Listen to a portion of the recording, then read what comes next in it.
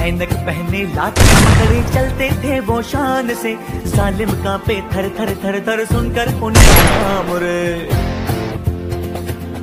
हो पग था उनका छोटा सा और सरपट उनकी चाल रे। दुबले से पतले से थे वो चलते सीना तान गए